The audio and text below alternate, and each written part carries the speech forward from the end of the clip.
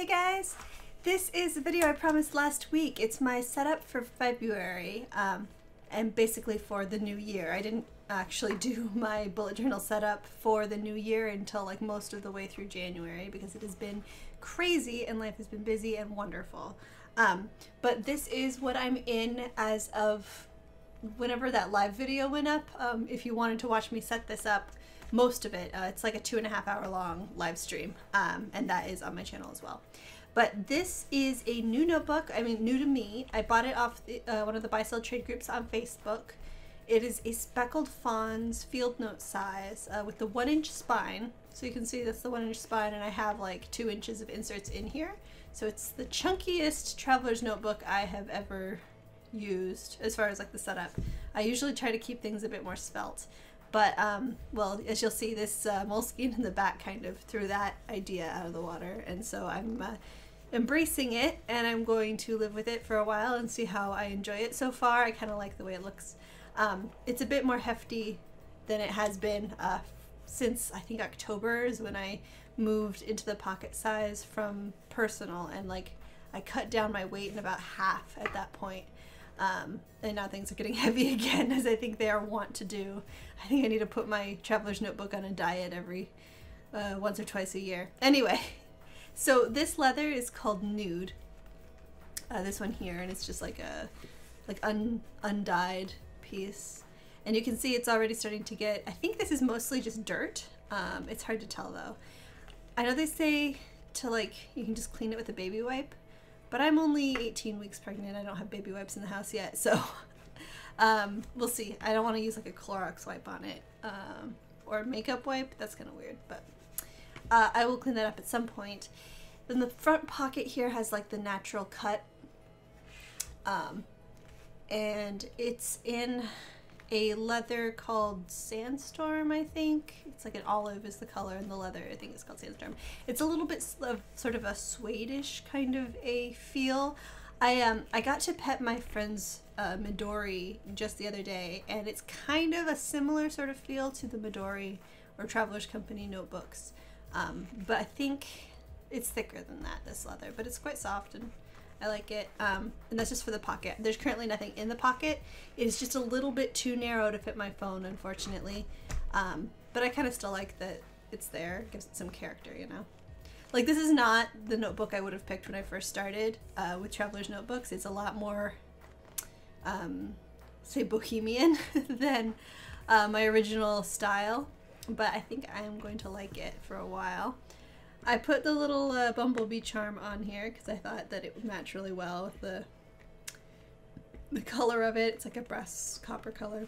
Um, this oh the stitching on the notebook itself is this olive drab green color, and then the elastic is brown, which is good because I have brown elastic, and I still haven't not decided to restring this to have more strings inside because of all the inserts. But let's go ahead and take a look. Uh, yeah, the notebook has pockets. It's got one big pocket in the front here. And then it's got um, another big one in the back, which is where I keep this uh, straight edge. And then it's got these two little ones here in the front of that, uh, where I've just got like a gift card that I need to, I need to, it's been on my to-do list to call about that. Anyway, uh, yeah, so here's the whole setup, uh, starting with this first one is an Annie Plans Printables. Um, you know how like the covers they usually look like like this with like the circles. Um, the cover for this says like 2018 and it's pink. Um, and I did not want to have to theme my notebooks around a pink insert for the entire year, so I just didn't print the cover page. Um, so it just like this would have been the cover, and then you open it up and it's January. Um, this is just uh, an insert of monthly calendars and this is what I'm using as my future log slash monthly logs. Um, January I basically copied everything over so that I would have a record of it, um, but I didn't decorate it besides these little bits of washi tape. February I did a little bit more as far as like color coding some of the things in pink and red. Um, and I put like when we're going to be out of town, even if it's only for a day, uh, with a little bit of skinny washi tape. Um, and then this part is just decorative. Down here is kind of where I'm putting my monthly to-do list. Um, I've already sort of run out of room here. I guess I can put some more on this side, but I may just decide that I need an additional space for that and find somewhere else to put it, but that's that. And then it's got the rest of the months here. I'll, uh, I figure I'll decorate them as I go. So everything that I've written in here is all in the friction erasable pen. So if I want to rewrite any of these things, you know, put birthdays in a color code or something, I can do that when I do the month. And if I don't have time for that, then it's already written and it's fine.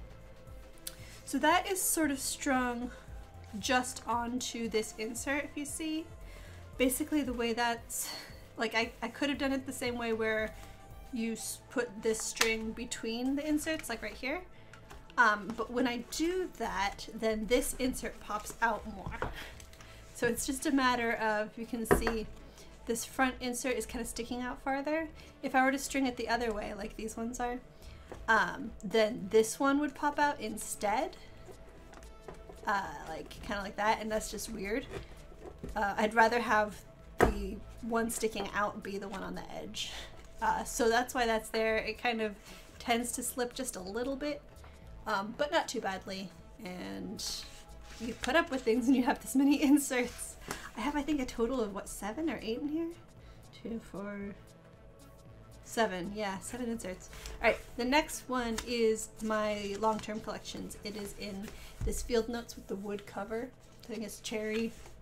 It doesn't say what the collection is called in the collection in the actual notebook, but I thought that was a nice sort of neutral um, but still like decorative kind of cover that would be good for a, a notebook that's meant to be in here for a long time.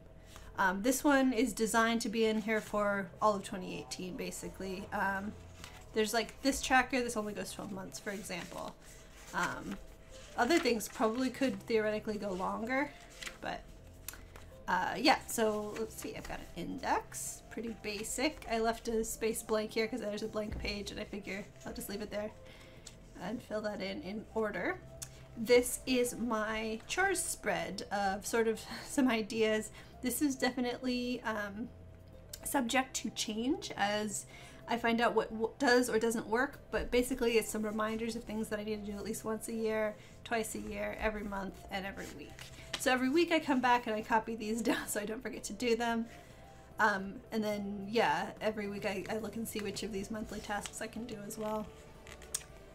Uh, and then this is my recurring tasks list. Um, in last year's setup, it was the one with, it was like black and white.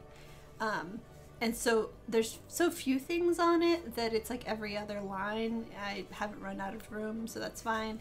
Basically the way this works, and it's dependent on the friction pen, is I have the task listed here, then how often I want to do it listed here, then the last time I did it here. And whenever I update this column, then I go and I update it in my calendar uh, for the next time. So like change razor, I want to do that every two weeks. So the last time I did it was on the 30th of January. So then I go and at the same time go, okay, two weeks from the 30th is the 13th of February and there it is, change razor. Um, and then when I get to that day. I'll see the tasks is there. I'll add it to my to-do list. I'll erase it here and write February 13th. And then, yeah. So that's the way it's theoretically supposed to work. The system fell down a little bit towards the end of last year as things got busy. So we'll see. If it, that happens again, I may revamp the system and maybe mark the next day to do it instead of the last day or maybe add another column for that. Anyway, this is the same old bra tracker. It's just uh, horizontal instead of vertical now. So you've got two rows per month. Uh, the top row is 1 through 15, bottom row is 16 through 31, you see. Um, and I just write the letter for the color of the bra I'm wearing, and then a number, and then once it gets to 6, I wash that one. So I got some new bras for pregnancy this uh, was not in the video because I tried to figure it out and then I gave up. But I'm pretty happy with how it turned out. Um, this side is debt payment. These are like all of the outstanding loans we have except for our mortgage. We're not even going to worry about that. That's a separate issue. And I have an app on my phone for tracking our, our payments for that anyway. Um, but I think the next thing to pay down is my car, and then yeah, and this is just to keep track. Um, each of these squares is two hundred fifty dollars. I just kind of know that, I guess. I'm hoping I won't forget. And then on this side is our savings goal, which is kind of a big one. We need to up what our emergency fund is after we spent some of it on the house and now we have a mortgage payment, so it needs to be higher anyway. So each of these squares is $100 and I'm just gonna fill it up. So that's supposed to be an E. It kind of looks like an L, but E for emergency. Yeah. All right. Then uh, this is my um, recurring or like annual checklist for uh, MH things, my Hogwarts things. Um, it's been slightly edited. I got rid of a couple jobs to kind of streamline my my work there, but it's the same as it was in the last setup. And then this is for WizU classes, same as the last setup, just a different color. And then that's all I have in here. So I have a lot of room and I feel like I'm never going to fill this up. Um, like I have to, as the year gets farther along, what constitutes a long-term collection versus a short-term collection does change. Because like basically my goal is this is going to last me through December. So if it's December already and I need something that only lasts, you know, I need a page for two weeks, then like that could go in here theoretically, right? Uh, so there we go. Then these two inserts are the same uh, pregnancy planning inserts in the same, um, what's it called, dashboard thingy. There's a whole video on this on my channel as well. This is another Annie Plans printable, um, just for uh, tracking different pregnancy related things. And then the second one here is for notes for the same. So like list of things that need to be done. Uh, so you can check out that there uh, on my channel. By the way, all of these dashboards and plan, uh, insert covers and things are so far, yes, every single one of them so far is just scrapbook paper from the scrapbook paper aisle at Michael's. And I'm going for sort of a marbly theme. Um, I like the way that this one matches the leather and stuff in here. It's, it's pretty good. This one's a little bit more saturated color-wise than the rest. But anyway, this next insert is the one I've been using since the beginning of January. It uh, started out as like a really basic bare bones Bujo. And so it has some collections and things in here that I normally would have put in a separate insert um, because I didn't have that insert yet and I've just been kind of really bare bonesing it uh, until this week here uh, of the 22nd of January. Um, I'm going to do a full flip through of this whole insert once it's full. Um, that's going to be in a couple weeks. I don't think I'm going to worry about like starting a new insert with the beginning of a month because I mean it's already February and here we are, we're still here.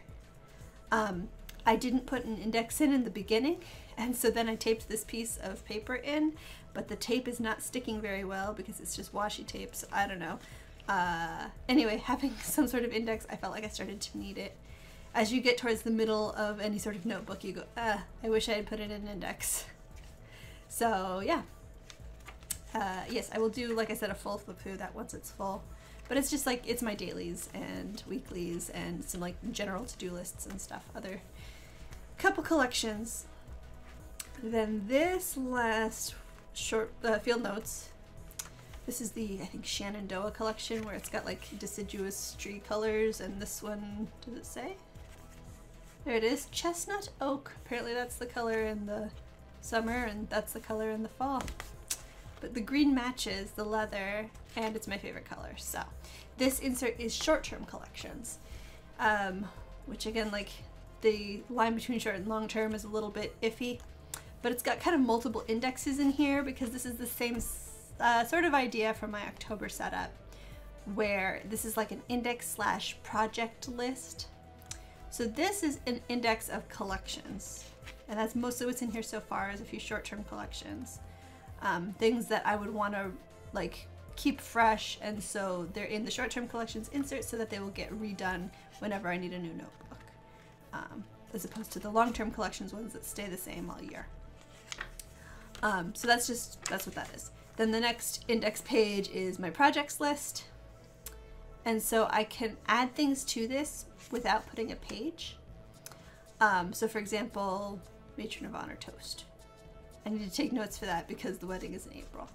Um, but I haven't made a page for it yet. When I do, I'll put a dash and then a number like that. And then the uh, uh, other idea is to put like a star next to the project on the column if I'm currently working on it. And then once the project's done, I'll put an X through it. But like this garden spread, I want to work on this week, so I'm going to put that star there. Um, video ideas. Currently, video ideas are over here, but when I move out of this notebook or when I move off of this spread, uh, then I will start using the ones in here, but they're ready to go. Then craft projects, same thing. So these are all different kinds of projects, right? Just general projects, videos, crafts, and then stuff for MH. And I think there's a few of these that are on my weekly, but I'll do that later. Um, so basically they're kind of like sort of a holding tank of ideas before I start working on them, as well as an index of project pages for once I do start working on them. This is sort of inspired by the getting things done method. Um, and I do have another video about sort of that on my channel. Search GTD and you'll see sort of, there's a couple different videos that have my thoughts on, um, I read the book, I had some conflicting thoughts about it. I incorporated what I thought was useful, and basically this is what's left of that is um, a projects list. And like the idea of being able to use a projects list as an index, I think kind of works pretty well. Anyway, these are like some collections, like I said, someday maybe and waiting on. These are GTD things too. Someday maybe list is like very freeing, as I was saying in the live stream, because this is just a list of stuff that I want to do someday, but I don't have any plans to do it yet. Uh, or things that would be nice to do someday, but like I don't want to have to find a place to write it down or make a plan for it. Just, it sits here. Waiting on is if you've delegated a task or something and you just need, like the next step in the project is someone else's. You put it here so that you can follow up on it with them if you don't trust them to do the thing, which uh, as a, yeah. It's not that I don't trust people, it's that other people don't write stuff down. So I want to make sure I can remind them. This is a YouTube video spread. I know it doesn't look like much yet, but basically it will look sort of like this uh, when it is done and being used. Where I just, um, these are my Thursday and Sunday videos. I write just the name of the video. It's all in friction erasable pens so I can move them around if I need to. And then once they're done, I'll highlight it. Um, I only have the dates written out till like the beginning of April, but I'll keep doing those as it comes up. And I can keep things scheduled and it works pretty well. Very simple. And then this is that garden spread I was talking about. Um, we just got a house that has a backyard and we want to plant some vegetables in it even though um, yeah we're not don't have a lot of experience with it so I have to do a lot of research that's why this whole page is for notes but basically, I have a list here of what we want to grow, like vegetables we like. Um, and then we want to have to put like roughly the month that they need to be planted in, the month that they can be harvested in, and then notes about fertilizer, water, sunlight, soil, that kind of thing. Um, and then yeah, that's gonna happen pretty soon because uh, it's our, it's still winter, like technically, but um, pretty much we don't have winter because we live in Southern California. So I think we can plant, start planting stuff pretty much now if we want to. Uh, I guess it just depends on like when we want it to harvest and all that. So that's what the research and the notes are for. Um, Gino doesn't watch this, but wish list is things that I want to get for myself, and gift ideas are things that I can get for other people. And whenever I come up with an idea, I put it on the page. And then that's it. I've got this little last tab here on my last blank spread because this is where like a brain dump would go, um, where a brain dump is planning to go because that works too. Um, and then the rest of these pages will be, you know, for projects and stuff when I get around to them. I'm trying to take life like one project at a time, one week at a time. I'm just looking at my weekly to-do list for this week. And as I'm getting closer to finishing it all, the back of my mind is going, what do I have for next week? I don't know. It's in here somewhere, and I'm sure I'll find it. Um, pretty sure I put a, a list somewhere of things I wanted to get done next week. Anyway, this last insert, I was going to get a, a Moleskine that like the field note size, but a Moleskine with lined pages from uh, like Target because I had gotten a three pack. I had used all of them and I needed more. I went there. They did not at the time have the three pack, uh, and so what they had in the field note size, and I was kind of debating this back and forth, um, but I decided to go with it. Is this? I forget what it's called. I mean, they're all their different ones are. But look, it's a hardcover Moleskine. Um, it's like it would be fine by itself, you know, like all nice and protected, and it's got the elastic and all that. It has a um, a bookmark ribbon actually too, which I it's still tucked away where it was originally. This is for Bible study notes. Um, previously, we were doing a different Bible study. We finished that one. We're doing the next one in the series. This is on Matthew, and we just started this Wednesday. So we've had one week of like I took notes on the video, but I haven't started on the homework yet. But that'll go here. Um, and yeah, uh, previously I had it in like inserts and I have like two inserts for the last session because I ran out of pages because I miscalculated and needed more. Um, and then even in the second insert, I had to like tip in a couple extra pages. I figure this way I should have enough pages for the whole session. It's like 24 weeks in here. Um, and then once it's out, it'll be nicely bound and I can put it somewhere and not have to like worry about it getting banged up or anything. So this whole time it'll just be in here and then if I need the space, you know, if if it's getting too bulky or whatever, I could just have it on its own, pull it out and not worry about it. But it is just in here with the front cover under the elastic like this. Um, because that way I feel like it kind of it works with the folding of the inserts or the leather around the inserts uh, like that. So this is what my setup looks like. And I should grab a scale or something. Uh, there's a postal scale at work. If someone reminds me in comments on Monday, I will weigh it and find out. But it's pretty hefty. Oh, and this doesn't have a pen loop, so I just have this uh, binder clip. And it's clipped on like the back half of the baby planning book, uh, which I'm not using yet, so it's kind of holding those together and out of the way, and I just have my pen clipped on there uh, which is working fine. Yeah, this is the whole setup, and so far it has been going pretty good. Um, I guess getting it to fit in my purse, I may have to move some stuff around. Though my purse is getting a little bit messy and I need to clear it out anyway, so this is a good reason.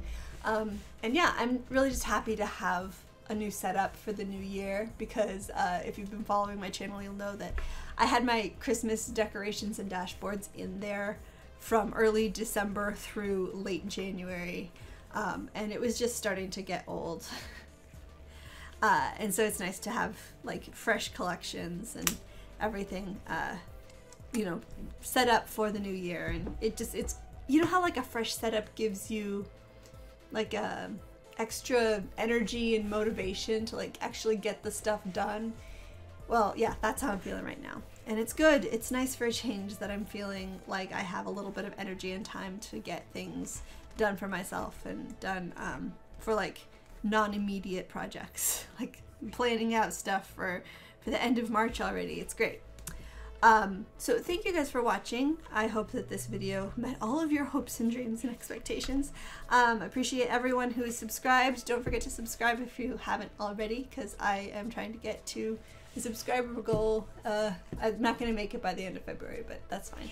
Um, I really appreciate everybody who's here. And I will see you guys in the next video on Sunday. Bye.